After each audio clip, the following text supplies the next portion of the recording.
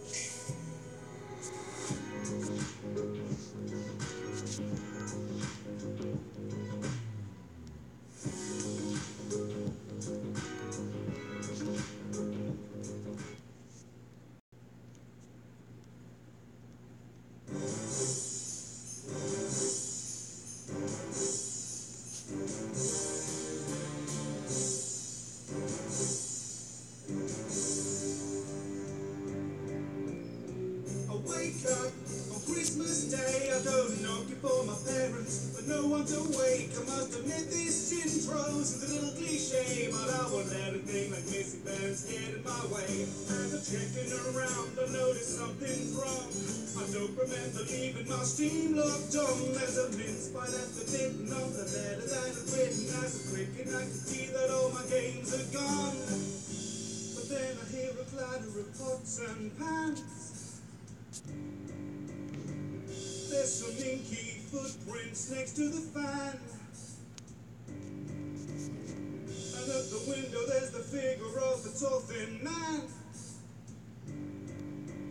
So I grab my crappy little torch and I ran.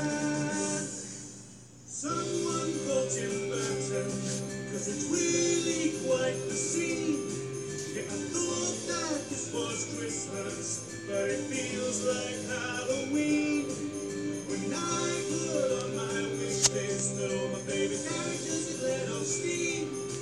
Well, I didn't think that Santa would take me literally kitchen to see what awaits me. To find Freddy Fazbear making the gravy. Bonnie the Bunny is chopping the runner beans. Foxy and Scotty are puddings and baking. No Chica ain't lurking, too chippily chirping and eagerly working and stuffing the turkey. But I hope that's all that ends up stuffed tonight. Look at the golden gravy suit, they're just my size. These guys aren't as scary as they were before. Man's hanging mistletoe over the door. And Dr. Trey is making paper snowflakes on the floor.